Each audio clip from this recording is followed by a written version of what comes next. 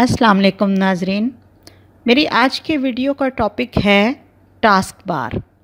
कुछ लोग जो कंप्यूटर को इस्तेमाल करने में बहुत ज़्यादा महारत नहीं रखते, उनको कुछ टास्क बार के इस्तेमाल के हवाले से मसाइल का सामना होता है।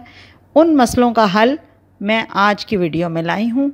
आज की वीडियो तीन क्वेश्चंस के आंसर देगी कि टास्क बार क्या है, इसके फ़ंक्शंस क्या होते हैं और किस तरह से हम अपने कंप्यूटर पर अपने टास्क बार की सेटिंग कर सकते हैं, उसको एडजस्ट कर सकते हैं। ये है आपका पसंदीदा एजुकेशन एंड एंटरटेनमेंट चैनल। इस चैनल को सब्सक्राइब कीजिए और इसके वीडियोस को लाइक और शेयर कीजिए। अब चलते हैं टास्क बार के इंट्रोडक्शन की तरफ़ के टास्क बार है क्या? टास्क बार एक ऐसा एलिमेंट है जो आपके ऑपरेटिंग सिस्टम यानी आपके कंप्यूटर स्क्रीन के नीचे के हिस्से में अमूमन दिखाई देता है। ये आपको मैं यहाँ पर अपने कंप्यूटर की स्क्रीन पर भी दिखा रही हूँ।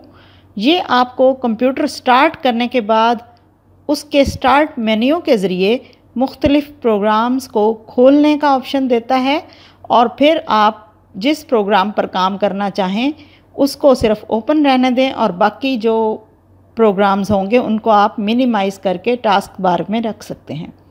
ताकि जो ही आप अपना एक टास्क पूरा करें तो स्क्रीन पर दूसरा टास्क फ़ौर टास्क बार की मदद से खोल सकें। ये प्रोग्राम फ़ौर एक क्लिक से आप चेंज कर सकते हैं। कंप्यूटर पर टास्क बार एक छोटी सी पट्टी के अंदर आपके ज़ेर इस्तेमाल तमाम टास्क का आइकॉन शो करा रहा होता है। इसमें ये सारी चीज़ें शामिल हैं जो मैं इस वक्त आपको दिखा रही हूँ।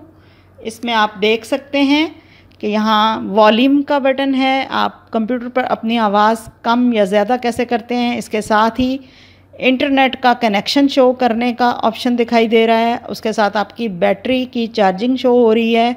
उसके अलावा एक छोटा सा बटन है जिसको आप क्लिक करते हैं। तो इसमें आपके छोटे छोटे डिफरेंट मज़ीद टास्क जो कस्टमाइज़ किए जा सकते हैं वो शो हो रहे हैं।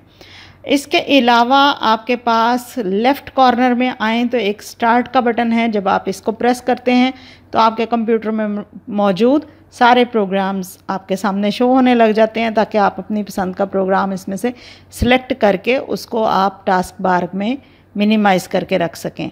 इसके साथ यहाँ पर इंटरनेट ब्राउजिंग के हवाले से भी आपके मिनी आइकॉन मौजूद हैं, जो आपको आपकी एक्सेस को आसान बनाते हैं कंप्यूटर की स्क्रीन पर और इसी तरह से आपके पास कोई प्रेजेंटेशन आपने खोली हुई है तो वो वहाँ पर आपको शो हो रही होती है।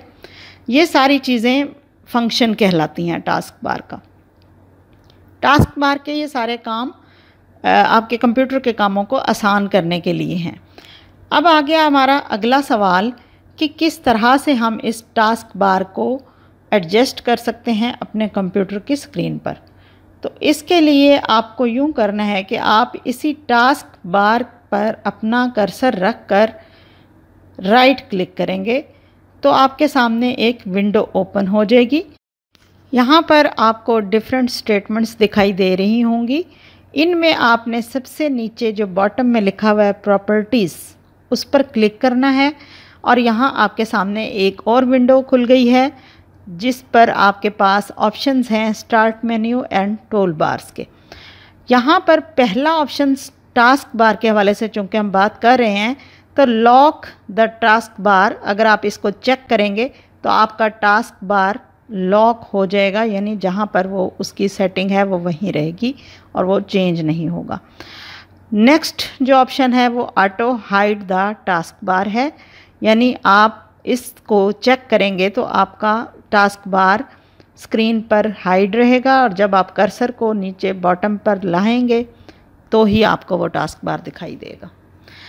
इसके बाद नेक्स्ट ऑप्शन है task bar location on screen.